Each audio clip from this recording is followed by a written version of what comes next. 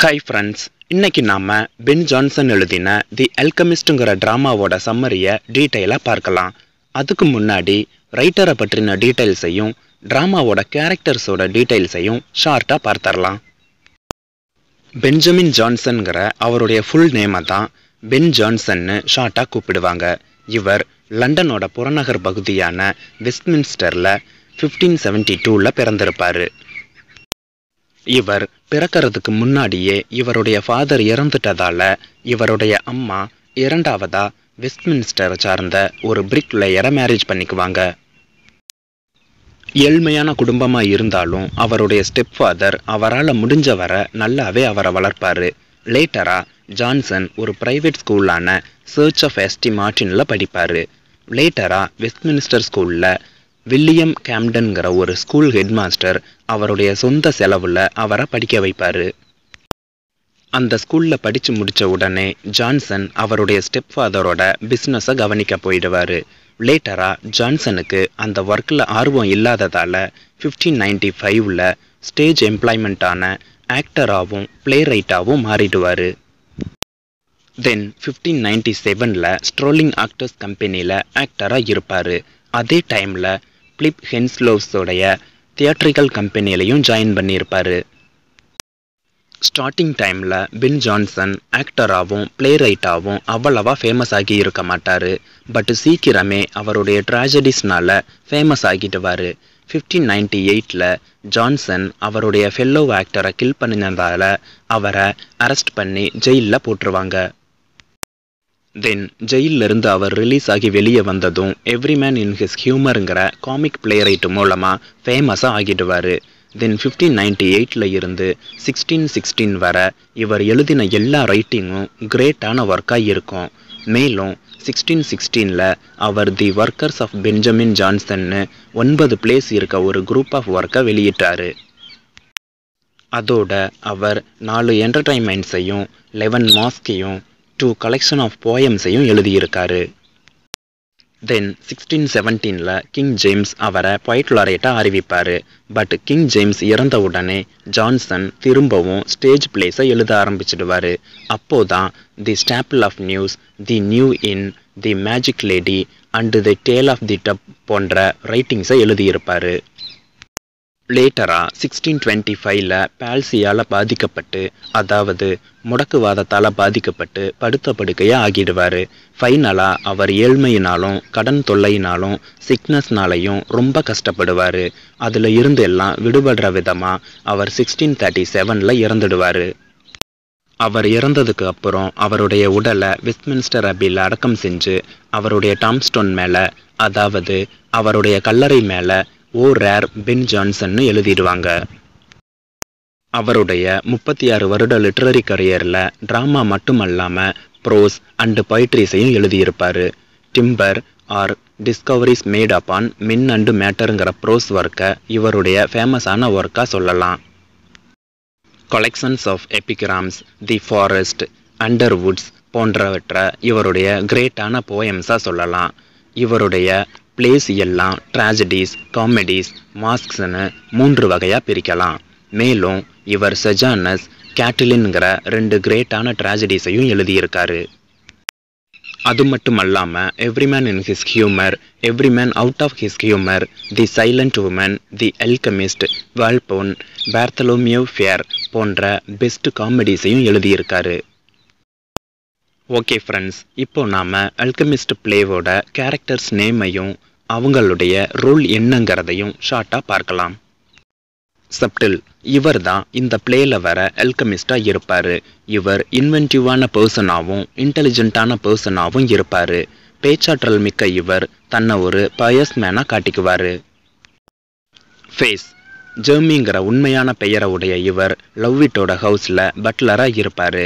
லவ்விட் அவருடைய கண்ட்ரி ஹோமுக்கு போன உடனே தன்னுடைய பேரை ஃபேஸ்னு மாற்றிக்கிட்டு சப்டில் டர்ல் காமன் போன்றவங்களோட சேர்ந்து சிலரை சீட்டிங் பண்ண ஆரம்பிச்சிடுவார். இவர் இந்த பிளேயில் கேப்டன் ஃபேஸுங்கிற நேம்லையும் அல்கமிஸ்டோட ஹெல்ப்பராகவும் லவ்விட்டோட பட்லராகவும் வருவார். டால் காமன் இவங்க இந்த பிளேயில் ஒரு ப்ராஸ்டிடியூட்டாகவும் சப்டில் மற்றும் ஃபேஸோட ஒன் ஆஃப் த பார்ட்னராகவும் இருப்பாங்க.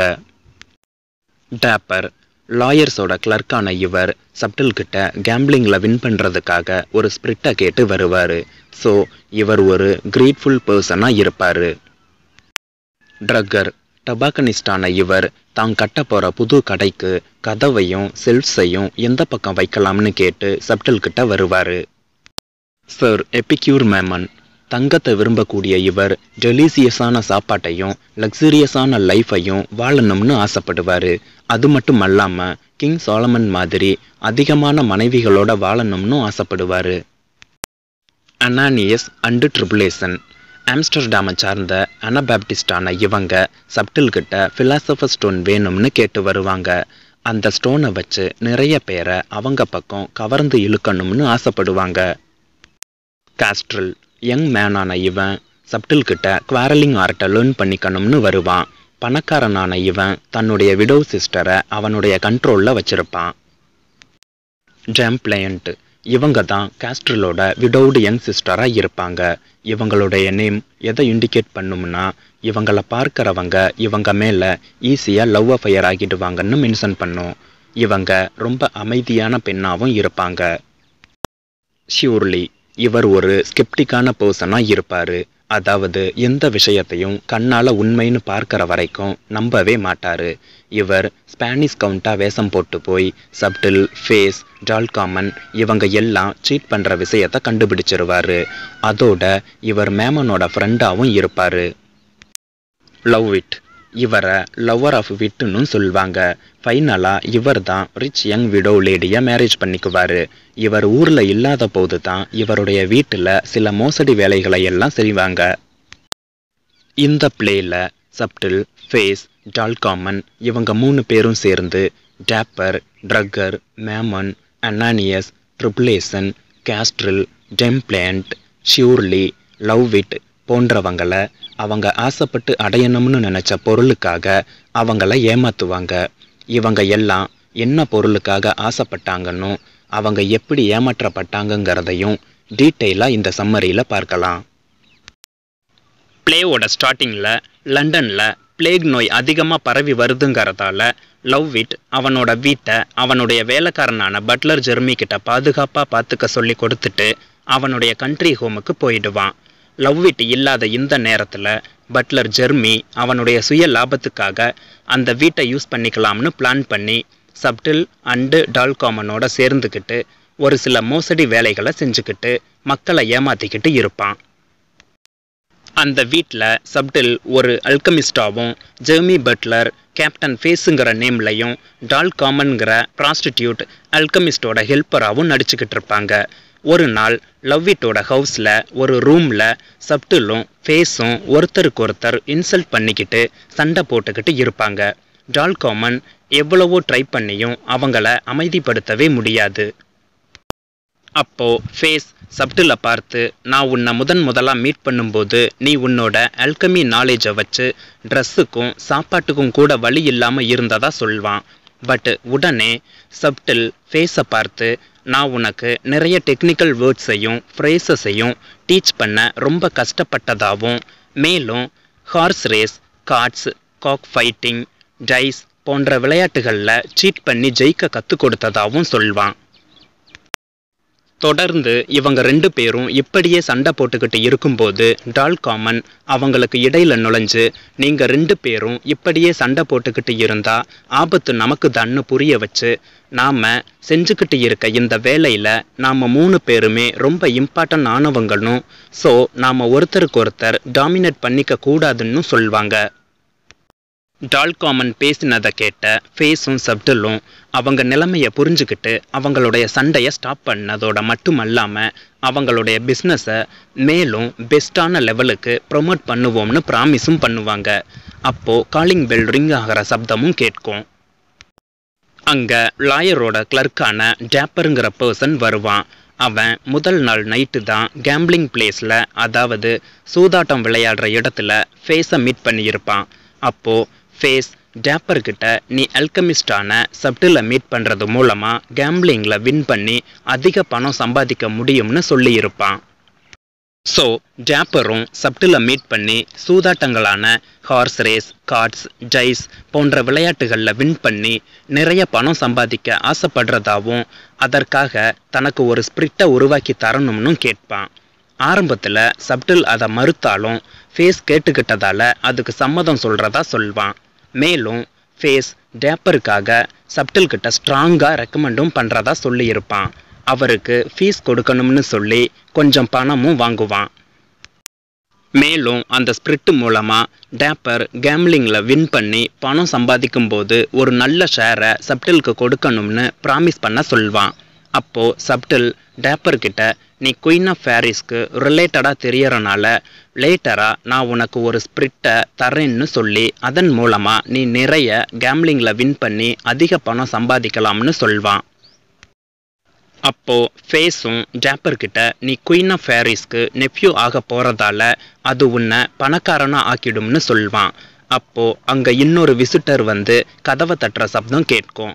ஸோ உடனடியாக சப்டில் டேப்பருக்கு ஒரு சில இன்ஸ்ட்ரக்ஷன்ஸை கொடுத்து அங்கே இருந்து போக சொல்லிடுவான். கொஞ்ச நேரத்திலேயே அங்கே செகண்ட் விசிட்டரான ட்ரக்கருங்கிற டொபாக்கனிஸ்ட் வருவான். ட்ரக்கர் தான் ஒரு புது கடையை கட்ட போகிறதாவும் அந்த கடைக்கு கதவு மற்றும் செல்ஃப்ஸை எந்த பிளேஸில் வைக்கலாம்னு ஐடியா கேட்டு வந்திருப்பான். ஏன்னா அவன் வாஸ்துப்படி வைக்கிறது மூலமாக நிறைய பணம் சம்பாதிக்க முடியும்னு நினைப்பான். ட்ரக்கருக்காக ஃபேஸ் சப்டில் கிட்ட ரெக்கமெண்டும் பண்ணுவான். அப்போ சப்டில் தனக்கு நெற்றியையும் கைரேகையையும் பார்த்து ஜோதிடம் பார்க்க தெரியும். அதன்படி பார்த்தா உனக்கு நல்ல எதிர்காலம் இருக்குன்னு ட்ரக்கர்கிட்ட சொல்வான்.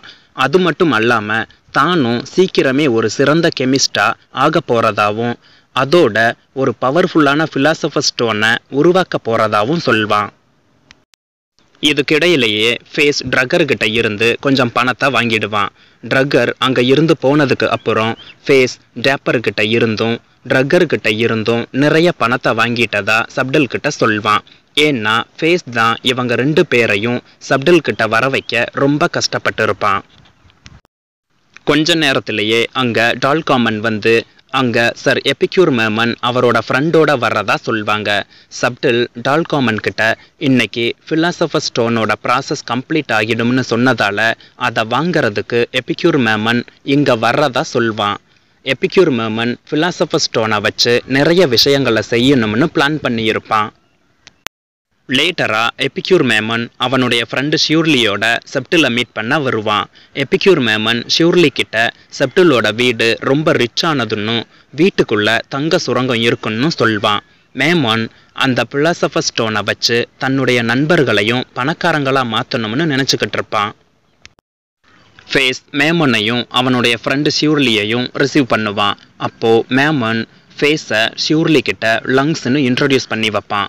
ஏன்னா அங்கே இருக்க லெபார்டரியில் ஃபேஸ் தான் நிலக்கரியை ஃபர்னஸ்குள்ளே தள்ளி எறிய வைப்பான். அப்போது மேமன் ஷியூர்லி கிட்ட part of philosopher stone thousand base மெட்டல்ஸை கோல்டாக மாற்றும்னு சொல்வான். ஆனால் ஸ்கெப்டிக்கல் பர்சனான ஷியூர்லி தான் கண்களால் அதை பார்க்குற வரைக்கும் நம்ப மாட்டேன்னு சொல்வான். இருந்தாலும் மேமன் அந்த கெமிக்கல் எந்த டிசீஸை வேணாலும் க்யூர் ஆக்கிடும்னும் ஓல்டு மேனாக இருந்தால் யங் மேனாக மாற்றும்னும் பிளேகை சுத்தமாக விரட்டிடும்னு சொல்வான். பட் ஷியூர்லி இதையெல்லாம் எதையுமே கண்டுக்க மாட்டான். ஆனாலும் ஷியூர்லியை கன்வின்ஸ் பண்ணுறதுக்காக ஃபிலாசபர் ஸ்டோனுங்கிறது ஆடாம் ஏவாள் காலத்தில் இருந்து இருக்குன்னும் அது சம்பந்தமான சில மெத்தலாஜிக்கல் ஸ்டோரிஸையும் அலிகாரிக்கல் அக்கவுண்ட்ஸையும் ஃபிலாசபர் ஸ்டோனோட பவர்ஸை பற்றியும் சொல்வான். அப்போ ஃபேஸ் மேமன் கிட்ட ஃபிலாசபர் ஸ்டோன் கூடிய சீக்கிரமே ரெடி ஆகிடும்னு சொல்லுவான். மேமனும் சப்டில்ஸோட அல்கமிக்கல் ப்ராசஸை முழுசாக உண்மைன்னு நம்பிக்கிட்டு இருப்பான்.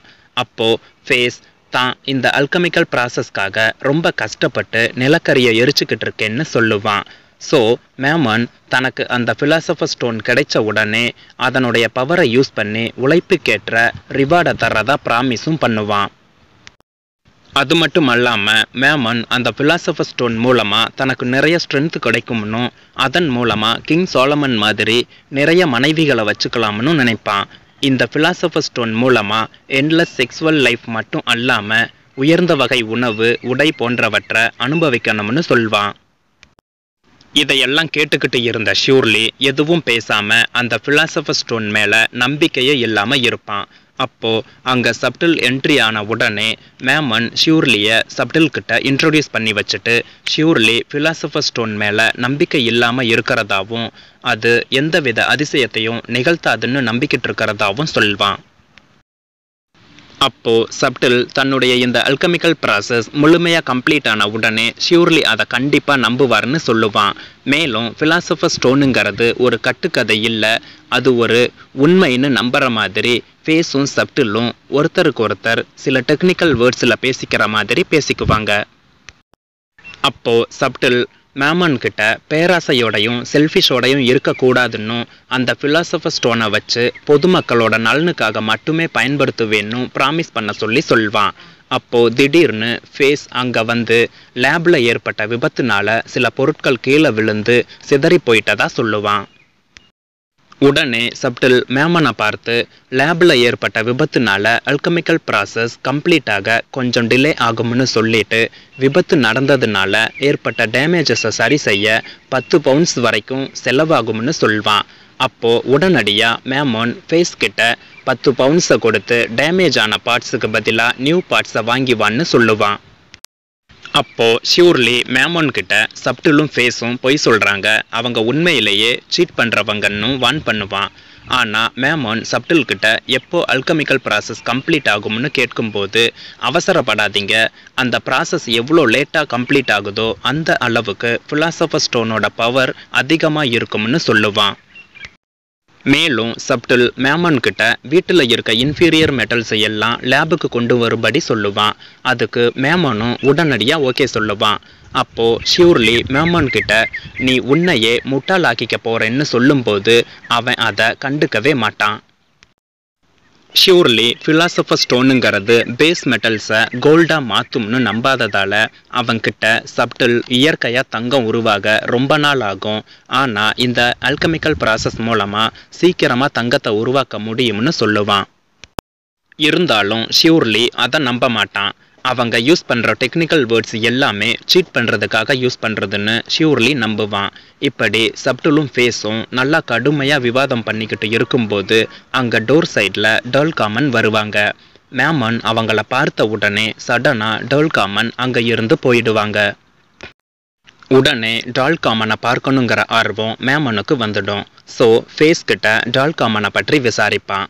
அவனும் டால்காமனை லார்ட்ஸோட சிஸ்டர்னு சொல்லுவான். அவங்களுக்கு அடிக்கடி வலிப்பு ஏற்படுறதுனால அதாவது ஃபிட்ஸ் ஏற்படுறதுனால அவங்கள ட்ரீட்மெண்ட்டுக்காக இங்கே அனுப்பி இருக்கிறதாவும் சொல்வான்.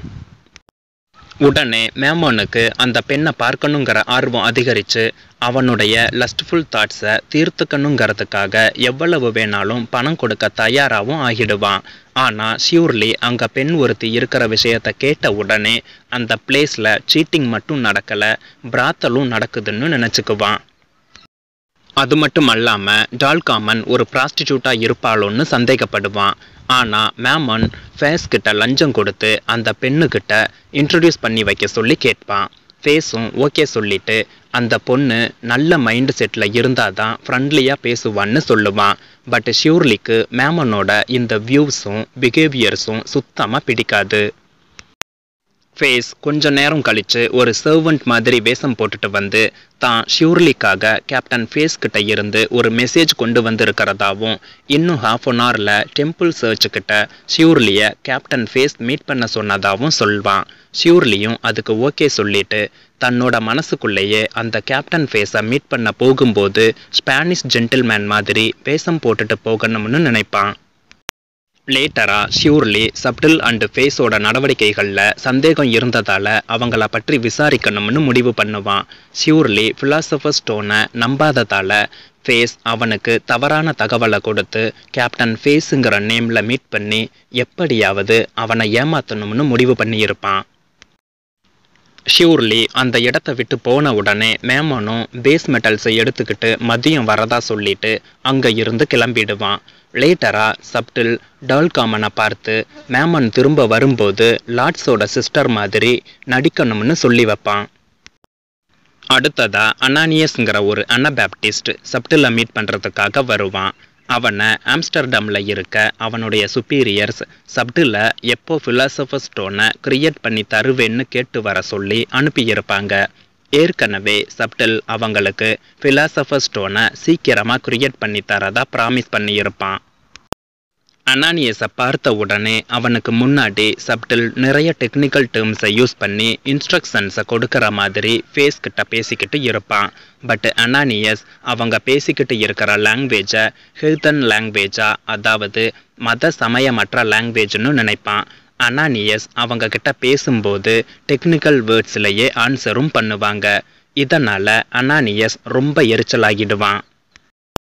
சப்டில் அனானியஸ் கிட்ட நிலக்கரி வாங்கணும்னு பணம் கேட்கும்போது ஏற்கனவே நிறைய பணம் தந்தாச்சுன்னு சொல்லி அனானியஸ் பணம் தர மறுத்துடுவான். கோபப்பட்ட சப்டில் அனானியஸை பார்த்து அனபேப்டிஸ்ட் குறிப்பிட்ட நேரத்துக்குள்ள தன்னை வந்து பார்க்கணும்னு மேலும் கேட்கிற பணத்தை தரலைன்னா இந்த அல்கமிக்கல் ப்ராசஸை ஸ்டாப் பண்ணிடுவேன்னு அப்படி பண்ணுனா ஃபிலாசபர் ஸ்டோன் அனபேப்டிஸ்டுக்கு கிடைக்காதுன்னு சொல்வான். உடனே அனானியஸ் கோபத்தோட அந்த பிளேஸை விட்டு போயிடுவான். லேட்டராக அந்த ஹவுஸுக்கு ட்ரக்கர் செகண்ட் டைமாக வருவான். ட்ரக்கர் சப்டல்கிட்ட ஒரு லக்கி சைன் வேணும்னு கேட்பான். அது அவனுக்கு செல்வ வளத்தை கொடுக்கும்னு நம்புவான். சப்டில் அதை ரெடி பண்ணி தந்த உடனே ட்ரக்கர் தான் வாங்கி வந்த டொபோக்கோவை சப்டிலுக்கும் ஃபேஸுக்கும் தருவான். லேட்டராக ஃபேஸ் ட்ரக்கர்கிட்ட பெயிண்டிங் பண்ண கிளாத் ஒன்றை வாங்கி வர சொல்லி கேட்பான். ட்ரக்கரும் தான் வாங்கி வரதா ப்ராமிஸும் பண்ணுவான். அப்போது ட்ரக்கர் அவங்க கிட்ட அவனுடைய சொந்தக்காரங்களான ரிச் விடோ லேடியும் அவளுடைய யங் பிரதரும் அவனுடைய வீட்டுக்கு வந்து இருக்கிறதா சொல்வான். அதோட அந்த விடோ லேடி அவளுடைய ஃபார்ச்சூனை தெரிஞ்சுக்க ஆசைப்படுறதாவும் அவளுடைய யங் பிரதர் குவாரலிங்கை லேர்ன் பண்ணிக்க ஆசைப்படுறதாவும் சொல்வான். இதை கேட்ட உடனே ஃபேஸ் அவங்க ரெண்டு பேரையும் தன்கிட்ட கூட்டி வர சொல்லி சொல்வான். அவங்க எதிர்பார்க்கிற விஷயங்களை சொல்லித்தரது தரது அந்த விடோ லேடிக்கு இங்கே வர்றது மூலமாக மறுபடியும் மேரேஜ் ஆக சான்சஸ் இருக்குன்னு சப்டல் சொல்லுவான். ட்ரக்கரும் முடிஞ்ச வர அவங்கள இங்கே கூட்டி வர ட்ரை பண்ணுறேன்னு ப்ராமிஸ் பண்ணிட்டு அங்கே இருந்து கிளம்பிடுவான். ட்ரக்கர் அங்கே இருந்து போன உடனே சப்டலும் ஃபேஸும் அந்த ரிச் லேடியை மேரேஜ் பண்ணிக்க விரும்புவாங்க. பட் ஃபைனலாக ரெண்டு பேரில் யார் மேரேஜ் பண்ணிக்கலாம்ங்கிறத முடிவு பண்ணிக்கலாம்னு நினைப்பாங்க. மேலும் டால்காமனுக்கு இந்த விஷயம் தெரிஞ்சால் பொறாமப்பட்டு அவங்க பிளானை ஸ்பாயில் பண்ணிடுவான்னு இந்த விஷயத்தை அவளுக்கு தெரியாமல் பார்த்துக்கணும்னு நினைப்பாங்க. சப்டில் அனானியஸ் மூலமாக அனபாப்டிஸ்டுஸ்க்கு வார்னிங் கொடுத்ததால ட்ரிபுலேஷன் அனானியஸை கூட்டிக்கிட்டு சப்டிலை மீட் பண்ணுறதுக்காக வரலாம்னு முடிவு பண்ணுவான். பட் ஆல்ரெடி அனானியஸை சப்டில் கேவலப்படுத்தினனால அனானியஸ் வரமாட்டேன்னு சொல்லுவான். இருந்தாலும் சப்டில் எப்போதுமே ஃபயர் பக்கத்திலேயே வேலை செய்கிறதால அவன் கோபத்தோட தான் இருப்பான்னு சொல்லி சமாதானப்படுத்தி தன் கூட அனானியஸை கூட்டிக்கிட்டு போவான். ட்ரிபுலேஷனையும் அனானியஸையும் பார்த்த சப்டில் நல்ல வேலை சரியான நேரத்துக்குள்ளே வந்துட்டீங்க. இன்னும் கொஞ்சம் லேட் பண்ணி இருந்தா ஒட்டுமொத்த அல்கமிக்கல் ப்ராசஸையும் உடைச்சு டேமேஜ் பண்ணியிருப்பேன். நீங்கள் கேட்ட ஃபிலாசபர் ஸ்டோனும் உங்களுக்கு கிடைச்சிருக்காதுன்னு சொல்வான் தென் ட்ரிபிளேஷன் அனானியஸ் நடந்துக்கிட்ட விதத்துக்காக சப்டில்கிட்ட மன்னிப்பு கேட்டுட்டு அவன் கேட்டு இருந்த பணத்தையும் கொடுப்பான். மேலும் ட்ரிபுலேஷன் கிட்ட சப்டில் ஆர்பன்ஸுக்கு சொந்தமானதுன்னு சொல்லி காப்பர் பிராஸ் டின் போன்றவற்றால் செய்யப்பட்ட குட்ஸை வாங்கிக்க சொல்லியும் கேட்பான். அதையும் ட்ரிபுலேஷன் தான் வாங்கிக்கிறதா சொல்லுவான். ஆனால் உண்மையிலேயே அந்த சரக்குகள் எல்லாம் மேமன் தங்கமாக மாற்றுறதுக்காக சப்டில் கிட்ட கொடுத்ததா இருக்கும். அடுத்ததா சப்டில் அந்த ஃபிலாசபர் ஸ்டோனோட பெனிஃபிட்ஸை ட்ரிப்புலேஷன் கிட்ட சொல்வான். அந்த ஃபிலாசபர் ஸ்டோன் மூலமாக நிறைய நண்பர்களையும் சிறந்த மனிதர்களையும் உங்கள் பக்கம் கொண்டு வர முடியும்னு சொல்வான். அது மட்டும் அல்லாமல் ஒன்ஸ் அனபாப்டிஸ்ட் ஃபிலாசபர் ஸ்டோனை உரிமையாக்கிட்டா அவங்களால ஆடியன்ஸை சுலபமாக அவங்க பக்கம் கவர்ந்தெழுக்க முடியும்னு சொல்வான். அதனால் அனபேப்டிஸ்ட் இனிமேல் மக்களை கவர்ந்தெழுக்கிறதுக்காக எந்த ஒரு போலியான செயல்களையும் நேர்மையற்ற செயல்களையும் செய்ய வேண்டியது இல்லைன்னு சொல்வான். அதோட ஃபிலாசபர் ஸ்டோனுக்கு இயற்கையாகவே அதிசய சக்திகள் இருக்கிறதாவும் அதுக்கு ஏஞ்சல்ஸோட பவர் இருக்கிறதாவும் அதனால் அதனோட கம்பேர் பண்ணும்போது மற்ற பொருட்கள் எல்லாம் ஒர்த்லெஸ்ன்னு சொல்வான். இப்படி சப்டில் ஃபிலாசபர் ஸ்டோனை பற்றி புகழ்ந்து பேசும்போது அனானியஸ் இடையில சில எதிர்ப்புகளை சொல்ல ட்ரை பண்ணுவான். ஆனால் ட்ரிபுலேஷன் அவனை பேச விட மாட்டான். ஏன்னா அவன் சப்டில ஒரு நல்ல மனநிலையோட இருக்கணும்னு நினைப்பான். அதன் மூலமாக சப்டில் கிட்ட இருந்து பிலாசபர் ஸ்டோனை ஈஸியாக வாங்கிடலாம்னு நினைப்பான். தென் சப்டில் ட்ரிபுலேஷனையும் அனானியஸையும் இன்சைடில் இருந்த அந்த திங்ஸை லிஸ்ட் எடுத்துக்க சொல்லி சொல்வான். மேலும் அந்த பொருட்களை வாங்கிக்கிறது மூலமாக ஆர்பன்ஸுக்கு நன்மை கிடைக்கும்னு சொல்வான். அந்த பொருட்களை வாங்கிக்கிட்டதுக்கு அப்புறம் அந்த திங்ஸை சப்டில்கிட்டயே கொடுத்துட்டு போனால் அந்த பேஸ் மெட்டல்ஸை கோல்டாக மாற்றிடுவேன்னு சொல்வான். அதோட தான் பிலாசபர் ஸ்டோனை சில மாதங்கள்லேயே கண்டுபிடிச்சிடுவேன்னு சொல்வான். இதையெல்லாம் கேட்ட ரெண்டு அனபாப்டிஸ்ட்டும் சாட்டிஸ்ஃபைடாக ஃபீல் பண்ணுவாங்க. அது மட்டும் அல்லாமல் அவங்களுக்கு பணம் தேவைப்பட்டால் தான் டச்சு டாலர்ஸை தயாரித்து கொடுக்கறதாவும் சொல்வான். அப்போது ட்ரிபுலேஷன் டச்சு டாலர்ஸை மின்ட் பண்ணுறதுனால ஏதும் ப்ராப்ளம் வராதான்னு கேட்பான். பட் சப்டில் மின்ட்டிங்கும் கேஸ்டிங்கும் டிஃப்ரெண்ட்டானது காயின்ஸை மின்ட்டிங் பண்ணுறது தான் குற்றம். ஆனால் கேஸ்டிங் பண்ணுறது குற்றம் இல்லைன்னு சொல்வான். இந்த எக்ஸ்பிளனேஷனில் சாட்டிஸ்ஃபைடான ட்ரிபுலேஷன் தன்னோட ஹோலி ஃப்ரெண்ட்ஸுக்கிட்ட டாலர்ஸை கேஸ்டிங் பண்ணுற விஷயத்தை பற்றி சொல்கிறதா சொல்லிட்டு ஆர்பன்ஸோட குட்ஸுக்குன்னு சொல்லி சப்டில் கிட்ட நூறு மார்க்ஸையும் பே பண்ணிட்டு ஃபிலாசபர் ஸ்டோன் சீக்கிரமே கிடைக்குங்கிற நம்பிக்கையோட அங்கே இருந்து ட்ரிபுலேஷனும் அனானியஸும் போவாங்க. அதே சமயத்தில் ஃபேஸ் கேப்டன் வேஷத்தில் ஷியூர்லியை மீட் பண்ணுறதுக்காக டெம்பிள் சர்ச்சுக்கு போன இடத்துல ஷியூர்லியை மீட் பண்ணலைன்னும் பட் ஒரு ஸ்பானிஷ் கவுண்ட்டை மீட் பண்ணினதாகவும் சப்டில் கிட்ட ஃபேஸ் சொல்லுவான். மேலும் அந்த ஸ்பானிஷ் கவுண்ட்டை அவங்களுடைய ஹவுஸுக்கு இன்வைட் பண்ணினதாகவும் அவனுடைய லஸ்ட்ஃபுல் தாட்டை டால் காமன் மூலமாக சாட்டிஸ்ஃபை பண்ணுறது மூலமாக நிறைய பணம் சம்பாதிக்கலாம்னு சொல்வான். இருந்தாலும் ஷியூர்லி கிட்ட இருந்து பணம் வாங்க முடியாமல் போச்சேன்னு சப்டில் ஃபீல் பண்ணுவான். பட் ஸ்பானிஷ் கவுண்ட் வரப்போகிறத நினச்சி சந்தோஷப்படுவான். அதனால் சப்டில் டால் காமன் கிட்ட வரப்போகிற கெஸ்ட்டை வரவேற்க தயாராக இருன்னு சொல்வான். ஃபேஸ் டால் காமன் கிட்ட அன்றைய நாள் ரொம்ப லக்கியான நாள்னும் மேமன் டேப்பர் ட்ரக்கர் அனபேப்டிஸ்ட் போன்றவங்க கிட்ட இருந்து அதிக பணம் சம்பாதிச்சதாகவும் இப்போ ஸ்பானிஷ் கவுண்ட் வேற வரப்போறதாகவும் சொல்வான். அப்போ சப்டில் ஃபேஸ் கிட்ட ஆல்ரெடி அனபேப்டிஸ்ட் கிட்ட செல் பண்ண பொருட்களை வேற யார்கிட்டயாவது செல் பண்ண முடியுமான்னு பாருன்னு சொல்வான். உடனே ஃபேஸும் அந்த பொருட்களை எல்லாம் டேப்பர் கிட்ட விற்க முடியும்னு சொல்வான். இப்படி ரெண்டு பேரும் பேசிக்கிட்டே ஸ்பானிஷ் கவுண்டோட வருகைக்காக ஆர்வமாக வெயிட் பண்ணிக்கிட்டு இருப்பாங்க. மேலும் அவங்க ட்ரக்கர் ப்ராமிஸ் பண்ண மாதிரி ரிச் விடோ லேடியையும் அவளுடைய பிரதரையும் கூட்டி வருவான்னு வெயிட் பண்ணுவாங்க.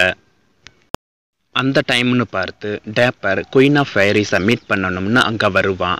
அதே டைமில் ட்ரக்கரும் அந்த ரிச் விடோ லேடியோட பிரதரான கேஸ்ட்ரில் கூட்டிக்கிட்டு வருவான். உடனடியாக ஃபேஸ் கேஸ்ட்ரல் கிட்ட போய் சப்டில் குவாரலிங்கை டீச் பண்ணுறதுல அனுபவசாலின்னும் அது மட்டும் அல்லாமல் ரிச் விடோ லேடிஸுக்கு திருமணம் செஞ்சு வைக்கிறதுல ராசியான பர்சன்னும் புகழ்ந்து பேசுவான். இதை கேட்ட கேஸ்ட்ரல் உடனடியாக தாம் போய் தன்னோட விடோ சிஸ்டரை கூட்டி வரேன்னு போவான். கேஸ்ட்ரல் அங்கே இருந்து போன உடனே ஃபேஸ் ட்ரக்கர் கிட்ட போய் சப்டில்லால் அந்த ரிச் விடோ லேடியை உனக்கு திருமணம் செஞ்சு வைக்க முடியும்னு சொல்வான். பட் அதுக்காக ஒரு டமாஸ்க ஸ்வீட்டை அதாவது ஒரு பர்ஃபெக்டான ட்ரெஸ்ஸை சப்டிலுக்கு ப்ரெசென்ட் பண்ணணும்னு சொல்வான். ஸோ ட்ரக்கரும் அந்த மாதிரியான ட்ரெஸ்ஸை வாங்குறதுக்காக அந்த பிளேஸில் இருந்து போயிடுவான். அதே சமயத்தில் டேப்பர் குயின் ஆஃப் ஃபேரிஸை மீட் பண்ணணுங்கிறதுக்காக வெயிட் பண்ணிக்கிட்டு இருப்பான். அப்போது சப்டில் குயின் ஆஃப் ஃபேரிஸோட பிரிஸ்ட் மாதிரி வேஷம் போட்டுக்கிட்டு அங்கே வருவான். தென் சப்டிலும் ஃபேஸும் சேர்ந்து டேப்பரோட கண்களை ஒரு துணியால் கட்டி பார்க்க முடியாதபடி பண்ணிடுவாங்க. அவங்க குயின் ஆஃப் ஃபேரி சொன்ன மாதிரி தான் செய்யறோம்னு சொல்லிட்டு டேப்பர்கிட்ட இருக்க எல்லா பொருட்களையும் தூக்கி எறின்னு சொல்வாங்க. ஸோ டேப்பர் அவன்கிட்ட இருந்த purse handkerchief coins silver breast seal போன்றவற்றை தூக்கி போட்டுருவான். தென் ஃபேஸும் செப்டிலும் ஃபேரிஸோட வாய்ஸ் மாதிரியே மிமிக்ரி பண்ணி டேப்பரை சுற்றி ஃபேரிஸ் இருக்க மாதிரி ஃபீல் பண்ண வைப்பாங்க. அப்போ டேப்பர் எப்போ என்ன குயின் ஆஃப் ஃபேரிஸ் கிட்ட இன்ட்ரடியூஸ் பண்ணி வைப்பீங்கன்னு கேட்பான். அதுக்கு சப்டில் ஃபேரிஸ் இப்போ டின்னரில் இருக்கிறதாவும் டேப்பருக்காக ஃபேரிஸோட ஓன் பிளேட்டை அனுப்பி இருக்கிறதாவும் கூடிய சீக்கிரமே டேப்பரை மீட் பண்ண போகிறதாவும் சொல்வான். இப்போ டால் காமன் அங்கே வந்து சர் எபிக்யூர் மேமன் அங்கே வந்துக்கிட்டு இருக்கிறதா சொல்வாங்க. உடனடியாக டேப்பரை அங்கே இருந்து அகற்றணுங்கிறதுக்காக அவனுடைய வாயில் ஜிஞ்சர் பிரெட்டை வச்சு அமுக்கி அவனை டாய்லெட்குள்ளே உட்கார வச்சிடுவாங்க. மேலும் இன்னும் ரெண்டு மணி நேரத்துக்குள்ள குயின் ஆஃப் ஃபேரிஸ் டேப்பரை மீட் பண்ண வரப்போகிறதாவும் அதனால் அமைதியாக இருன்னு சொல்லிடுவாங்க. தென் ஃபேஸ் மேமனை மீட் பண்ணி சப்டிலோட அல்கமிக்கல் ப்ராசஸ் ஃபைனல் ஸ்டேஜில் இருக்கிறதாவும் கூடிய சீக்கிரமே உன்னோட பேஸ் மெட்டல்ஸை எல்லாமே தங்கமாக மாற்றிடலாம்னு சொல்வான். பட் மேமன் அவன் கதவு கிட்ட பார்த்த அந்த பெண்ணை மீட் பண்ணணுங்கிற ஆர்வத்திலேயே இருப்பான். ஸோ அவளை பற்றி ஃபேஸ் கிட்ட விசாரிப்பான். ஃபேஸும் மேமனோட நேர்மையையும் பெருந்தன்மையையும் அந்த பெண்கிட்ட எடுத்து சொன்னதால உங்களை மீட் பண்ண ரொம்ப ஏக்கத்தோட அந்த பெண் வெயிட் பண்ணுறதா சொல்வான். பட் அந்த பெண்ணை மீட் பண்ணும்போது ரிலீஜியஸ் பற்றி பேச வேண்டாமனும் அப்படி பேசுனா அவள் உணர்ச்சி வசப்பட்டு அவளுக்கு ஃபிட் ஆஃப் மேட்னஸ் ஏற்பட்டு வயலண்ட்டாக மாற ஆரம்பிச்சிடுவான்னு சொல்வான். உடனே மேமன் அந்த பெண்ணை மீட் பண்ண போகிற சந்தோஷத்தில் அந்த பெண்ணோட பெட்ரூமில் இருக்கிற மாதிரி நினச்சி பார்ப்பான். அதோட ஃபிலாசபர் ஸ்டோன் அவனோட கைக்கு கிடைச்ச உடனே அந்த பெண்ணை தங்கத்தாலேயே குளிப்பாட்டலாம்னு நினப்பான். அப்போ டால் காமன் ரொம்ப ரிச்சா ட்ரெஸ் பண்ணிக்கிட்டு மேமன் முன்னாடி வருவாங்க. மேமன் அவளுடைய ட்ரெஸ்ல கிஸ் பண்ண பர்மிஷன் கேட்கும்போது அவளோ அவளுடைய உதட்டிலேயே கிஸ் பண்ணுங்கன்னு சொல்வா. டால்காமன் மேமன் கிட்ட தான் இங்க அஸ்ட்ராலஜி கெமிஸ்ட்ரி போன்றவற்றை லேர்ன் பண்ணிக்கலாம்னு சப்டில் கிட்ட வந்ததா சொல்லும்போது மேமன் உன்ன மாதிரி அழகான பெண்கள் இந்த மாதிரி டார்க் சப்ஜெக்ட்ஸை படிக்கிறது தனக்கு பிடிக்காதுன்னு சொல்வான். மேலும் அவன் போட்டிருந்த டைமண்ட் ரிங்கை அவளுடைய கைவிரலில் போட்டு விடுவான். அதோட அவளோட பர்மனண்ட்டான ரிலேஷன்ஷிப்பில் இருக்கணுங்கிற ஆசையவும் சொல்வான். அப்போது ஃபேஸ் அங்கே என்ட்ரி ஆகி மேமனோட வாய்ஸ் கொஞ்சம் லவுடாக இருக்கிறதால அதை சப்டில் கேட்க வாய்ப்பு இருக்கிறதா சொல்லி அவங்க ரெண்டு பேரையும் அப்ஸ்ட்ரைஸில் இருக்க ஒரு ரூமுக்கு அனுப்பி வச்சிடுவான். தென் காஸ்ட்ரில் அவனுடைய சிஸ்டர் டேம் பிளான்ட்டை கூட்டிக்கிட்டு அதாவது அந்த ரிச் விடோ லேடியை கூட்டிக்கிட்டு அங்கே வருவான் சப்டில் அவங்கள வெல்கம் பண்ணி காஸ்ட்ரலுக்கு எக்ஸலண்ட்டான குவாரலிங் ஆர்ட்டை கற்று தரதா சொல்வான் தென் டேம் பிளான்ட்டை பார்த்து அவளை கிஸ் பண்ணிட்டு சீக்கிரமாகவே ஒரு ஃபேமஸான லேடியாக மாற போகிறதா சொல்வான் அப்போ கேஸ்ட்ரல் சப்டில் கிட்ட எப்படி என்னோட சிஸ்டர் கிரேட்டான லேடியா மாற போறதா சொல்றீங்கன்னு கேட்கும்போது தனக்கு ஃபர்கட்ல இருக்க கோடுகளையும் லிப்ஸ்ல இருக்க ரேகைகளையும் ரீட் பண்ணி ஜோதிடம் சொல்ல தெரியும்னு சொல்வான். அது மட்டும் அல்லாமல் தான் நிறைய தடவை கிஸ் பண்ணுறது மூலமாக ஒரு ப்ராப்பரான ஜட்மெண்ட்டுக்கு வர முடியும்னு சொல்வான். இதை கேட்ட டேம் பிளான்ட் தான் ஒரு கிரேட்டான லேடியாக மாற போகிற சந்தோஷத்தில் சப்டில் தன்னை கிஸ் பண்ணுறதுக்காக முழு மனதோட சம்மதிப்பாங்க. அப்போ ஃபேஸ் அங்க வந்து ஸ்பானிஷ் கவுண்ட் வர்றதா இன்ஃபார்ம் பண்ணுவான் உடனே சப்டில் அந்த ரிச் விடோ லேடியையும் அவளுடைய பிரதரையும் தான் கண்டுபிடிச்ச இன்ஸ்ட்ருமெண்ட்டை காட்டுறதா ப்ராமிஸ் பண்ணி அப்ஸ்ட்ரேயஸில் இருக்க ஒரு ரூமில் இருக்க வச்சிடுவான் ஷியூர்லி சப்டிலை மீட் பண்ணுறதுக்காக அவங்க ஸ்பானிஷ் கவுண்ட் வேஷத்தில் வருவான் அதோட தனக்கு இங்கிலீஷ் லாங்குவேஜ் தெரியாத மாதிரியும் ஸ்பானிஷ் லாங்குவேஜ் மட்டுமே தெரியற மாதிரியும் நடிப்பான் ஷியூர்லி உண்மையான ஸ்பானிஷ் கவுண்ட்டுன்னு நினச்சி அவனுக்கு இங்கிலீஷ் லாங்குவேஜ் தெரியாதுன்னு சப்டலும் ஃபேஸும் அவனை இங்கிலீஷ் லாங்குவேஜ்லேயே கிண்டல் பண்ணுவாங்க. அது மட்டும் அல்லாமல் அவனுடைய அப்பியரன்ஸை பார்த்து கிண்டல் பண்ணி சிரிப்பாங்க.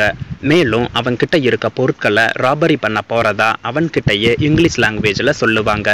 ஏற்கனவே ஃபேஸ் ஸ்பானிஷ் கவுண்ட்டை அந்த ஹோமுக்கு இன்வைட் பண்ணும்போது பியூட்டிஃபுல்லான உமனை ப்ரைவேட் பண்ணுறதா சொல்லியிருப்பான். ஸோ ஃபேஸும் சப்டிலும் அவனை சாட்டிஸ்ஃபை பண்ணுறதுக்காக டிஸ்கஸ் பண்ணிக்கிட்டு இருப்பாங்க. டால் காமன் மேமனோட இருக்கிறதால அவங்களுக்கு வேற ஆளும் இருக்காது. அந்த டைமில் ஸ்பானிஷ் கவுண்ட் அமைதியை இழந்து தனக்கு உடனே ஒரு லேடி வேணும்னு அவசரப்படுவான். ஸோ சப்டிலும் ஃபேஸும் அந்த ரிச் விடோ லேடி கிட்ட ஸ்பானிஷ் கவுண்ட் கூட ஒரு இரவு தங்க சொல்லி கேட்கலாம்னு முடிவு பண்ணுவாங்க. அவங்களில் யாராவது ஒருத்தர் அந்த லேடியை மேரேஜ் பண்ணிக்கலாம்னு நினச்சிருந்தாலும் அந்த டைமில் அவங்க ரிச்சான கஸ்டமரை இழந்துடக்கூடாதுன்னு நினைப்பாங்க.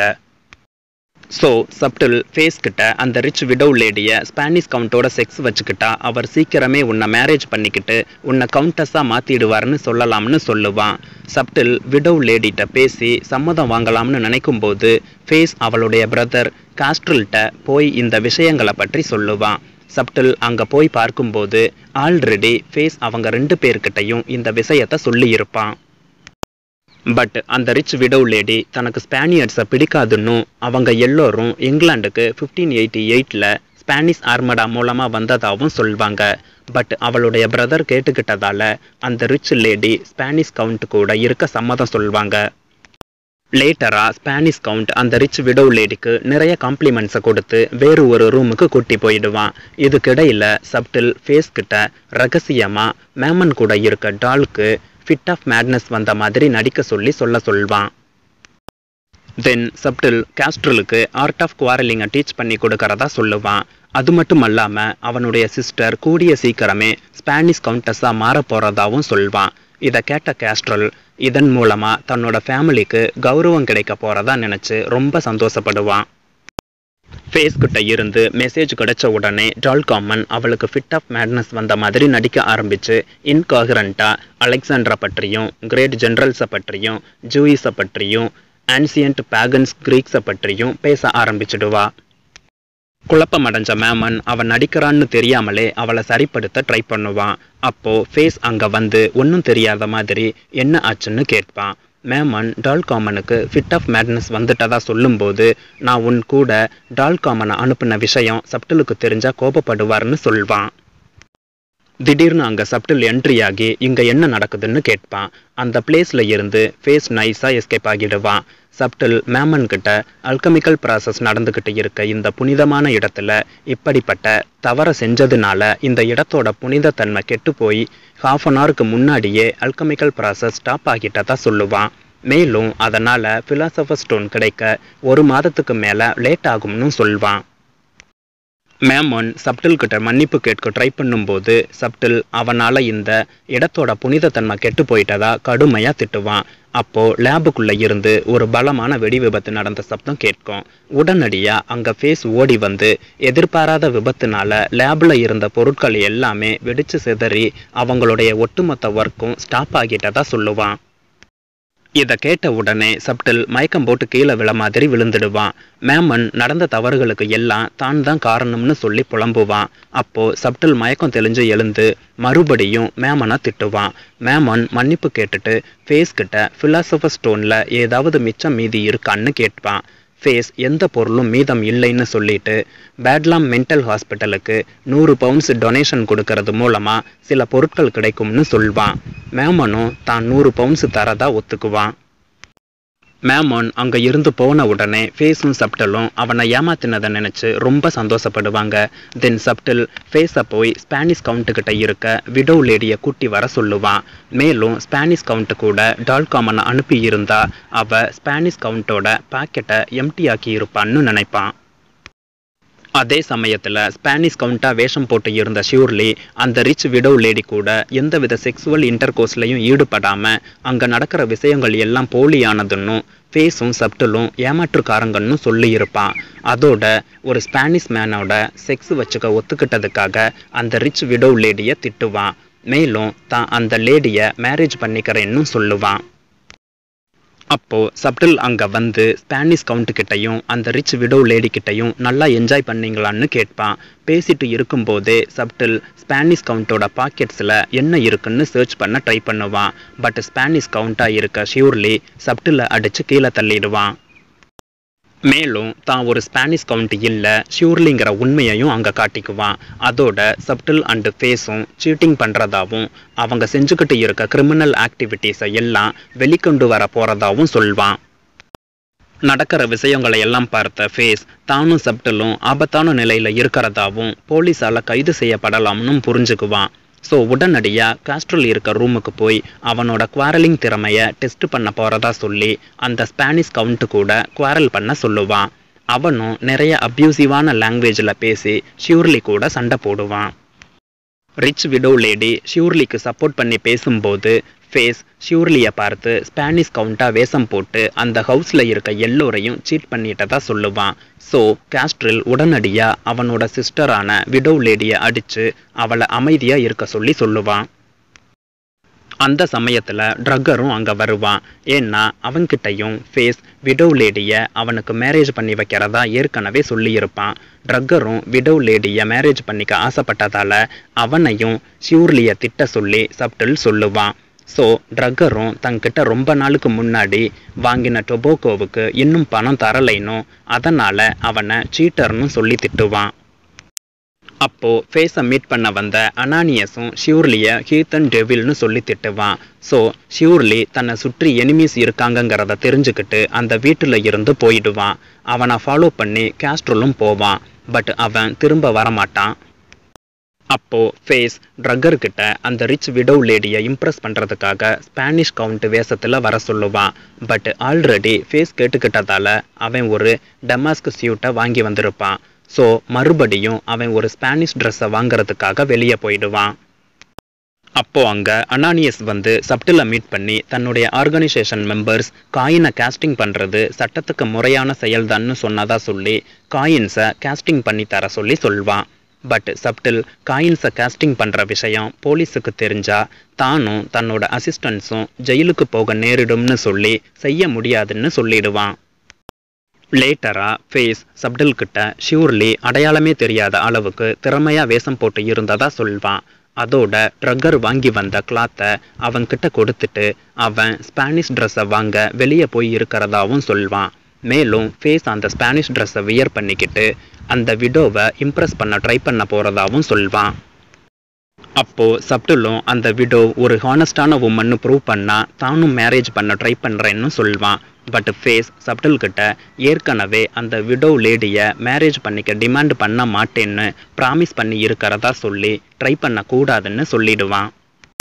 அப்போது டால் காமன் ரொம்ப படபடப்போடு அங்கே வந்து சப்டில் அண்டு ஃபேஸ் கிட்ட அந்த வீட்டோட ஓனர் அங்கே வந்துட்டதாவும் அவரோட நெய்பர்ஸோட வெளியே நின்றுக்கிட்டு இருக்கிறதாவும் சொல்வா.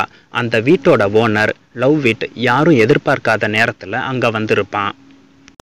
ஃபேஸ் உடனடியாக அங்கே டேஞ்சரஸான சுச்சுவேஷன் நிலவிக்கிட்டு இருக்கிறத புரிஞ்சுக்கிட்டு தான் உடனடியாக ஒரிஜினல் ஷேப்பான ஜெர்மி பட்லராக மாறணும்னு சொல்லுவான். மேலும் சப்டிலையும் ஃபேஸையும் அங்கே இருக்க திருடின பொருட்களை எல்லாம் ரெண்டு ட்ரங்க் பெட்டியில் பேக் பண்ண சொல்லுவான்.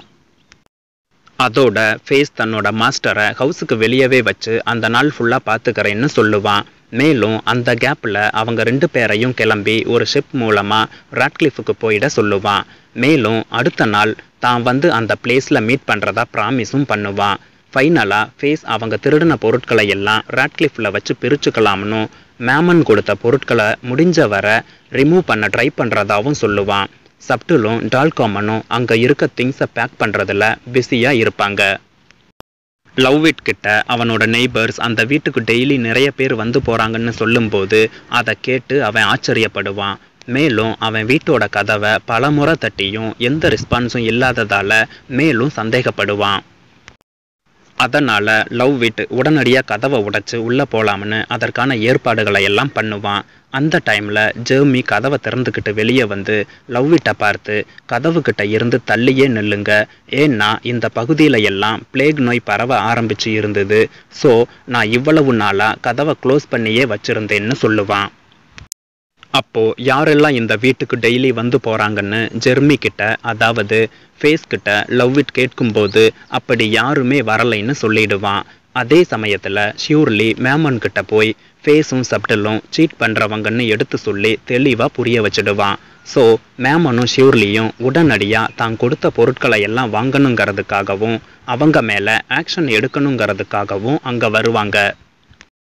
லவ் ஹவுஸில் ஃபேஸ் பட்லரோட யூனிஃபார்மில் இருந்ததால் அதாவது ஒர்க்கர் யூனிஃபார்மில் இருந்ததால் அவனை ஷியூர்லிக்கும் மேமனுக்கும் துளி கூட அடையாளம் தெரியாது. லவ் மீட் பண்ண அவங்க ரெண்டு பேரும் அவனுடைய வீட்டுக்குள்ளே சீட்டிங்கும் ராபரியும் நடக்கிறதா சொல்லுவாங்க. பட் பட்லராக இருந்த ஃபேஸ் அதை மறுத்து வீட்டுக்குள்ளே அப்படி எதுவுமே நடக்கலைன்னும் இவ்வளவு நாளாக தான் கதவை க்ளோஸ் பண்ணியே வச்சுருந்ததாகவும் சாவி கூட தன்கிட்டயே இருக்கிறதாவும் சொல்லுவான். பேசி பார்த்த ரெண்டு பேரும் வேலையாகாதுங்கிறதால ஃபர்தராக இன்வெஸ்டிகேட் பண்ணுறதுக்காக போலீஸை கூப்பிடலாம்னு முடிவு பண்ணுவாங்க. அப்போது கேஸ்ட்ரல் அங்கே வந்து சப்டில் ஃபேஸ் மற்றும் அவளோட சிஸ்டர் போன்றவங்களை மீட் பண்ணணும்னு கேட்பான். பட் அவங்கிட்டையும் ஃபேஸ் வீட்டுக்குள்ளே யாருமே இல்லை. இந்த வீடு கொஞ்ச நாளாக க்ளோஸ் பண்ணியே தான் இருக்குன்னு சொல்வான். கேஸ்ட்ரலுக்கு கூட ஃபேஸ் பட்லர் வேஷத்தில் இருக்கிறதால அவனை சுத்தமாக அடையாளம் தெரியாது. ஷியூர்லி மேமன் கேஸ்ட்ரல் போன்றவங்க எல்லாம் சொல்கிறத வச்சு லவ் வீட்டு ஃபேஸை சந்தேகப்பட ஆரம்பிச்சிடுவான். அந்த டைமில் அனானியஸும் ட்ரிப்ளேஷனும் அங்கே வருவாங்க.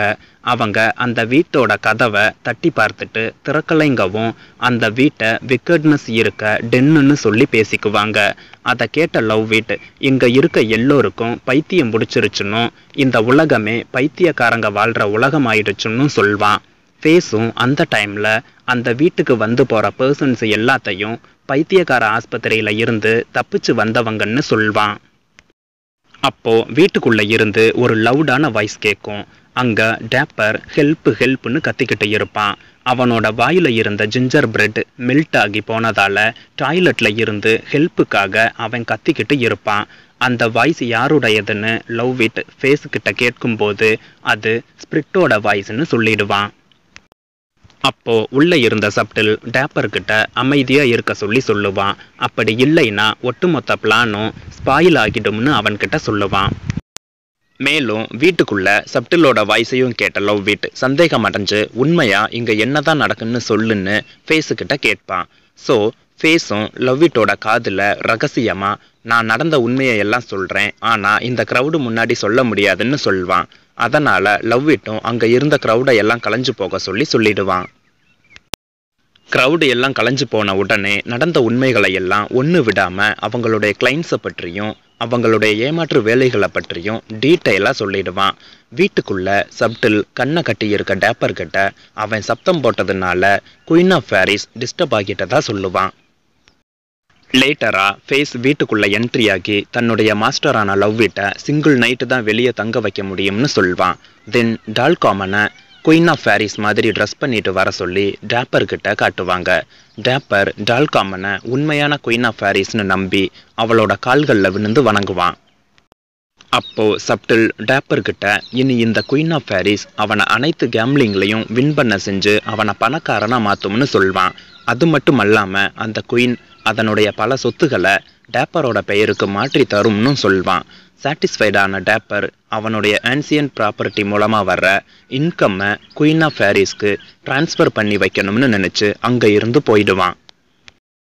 அதே சமயத்தில் சப்டிலும் டால்காமனும் ஃபேஸ் டேம்ப்ளைண்ட்டை மேரேஜ் பண்ணிக்குவான்னு நினைப்பாங்க.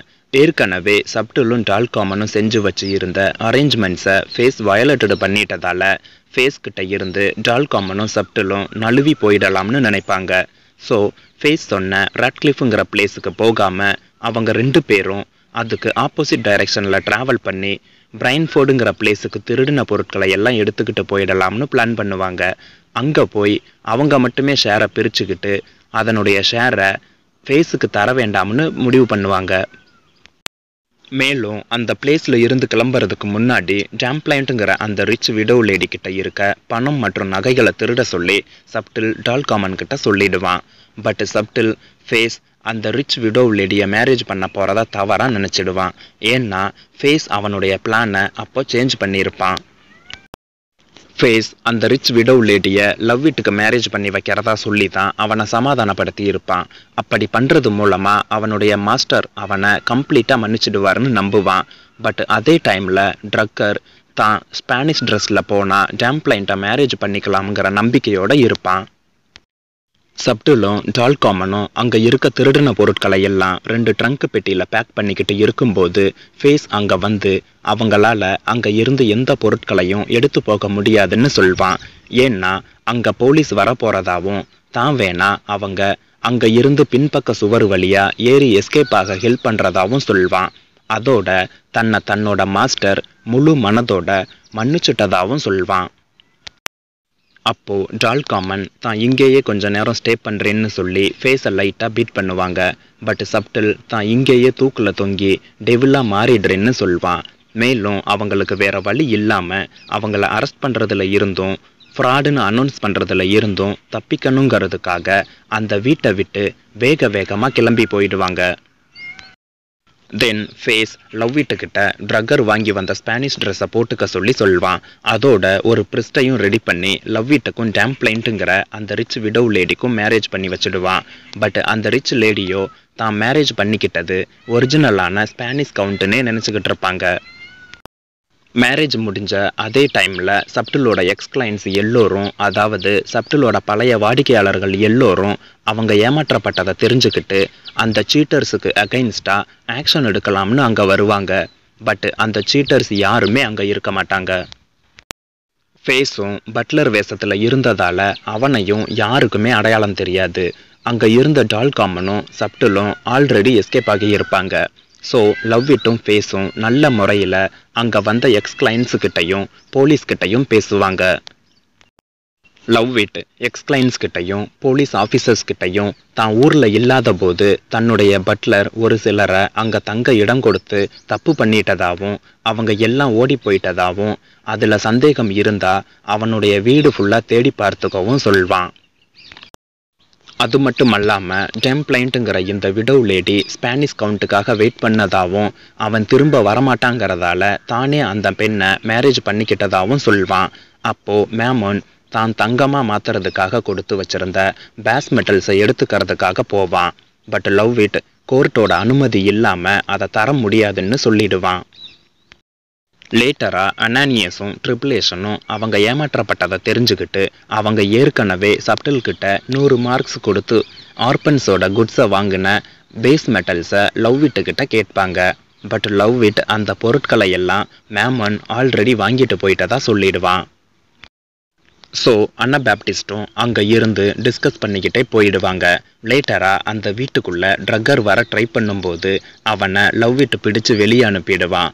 பட் ட்ரக்கருக்கு ஃபேஸ் ஒரு குறிப்பாக அனுப்பியிருப்பான் அதில் மேரேஜ் ப்ரிப்பரேஷனுக்காக ட்ரக்கர் ரொம்ப நேரம் ஃபேஸ் வாஷ் பண்ணிக்கிட்டு இருந்ததால் அந்த யங் விடோவை மேரேஜ் பண்ணிக்கிற சான்ஸை அவன் மிஸ் பண்ணிட்டதா அதில் எழுதியிருக்கும். லேட்டராக காஸ்ட்ரில் தன்னோட சிஸ்டர் உண்மையான ஸ்பானிஷ் கவுண்ட்டை மேரேஜ் பண்ணிக்காம ஒரு ஆர்டினரி பர்சனை மேரேஜ் பண்ணிக்கிட்டதை தெரிஞ்சுக்கிட்டு ரொம்ப கோபத்தோட லவ்விட்டோட வீட்டுக்கு வருவான். அவன் அவனுடைய சிஸ்டரை திட்டும்போது லவ்விட் அவனை அடிச்சிருவேன்னு மிரட்டுவான். பயந்து போன காஸ்ட்ரில் லவ்விட்டோட ஃப்ரெண்ட்ஸாக ஆகிடலாம்னு முடிவு பண்ணி ஃப்ரெண்டாகவும் ஆகிடுவான். லவ் இட் தனக்கு மேரேஜ் ஆனதை நினச்சி சாட்டிஸ்ஃபைடாகவும் ஹாப்பியாகவும் ஃபீல் பண்ணுவான். அதோட தன்னோட பட்லர் ஜெர்மிக்கு தான் எப்போதுமே கடமைப்பட்டு இருக்கிறதாவும் ஃபீல் பண்ணுவான். ஃபைனலாக ஃபேஸ் தான் எல்லா எக்ஸ் கிளைண்ட்ஸுக்கிட்ட இருந்தும் விடுவிக்கப்பட்டதாகவும் ஜட்ஜ்மெண்ட்டுக்காக தன்னை ஆடியன்ஸ் முன்னாடி சமர்ப்பிக்கிறதாகவும் சொல்வான். ஓகே ஃப்ரெண்ட்ஸ் தேங்க்ஸ் ஃபார் வாட்சிங்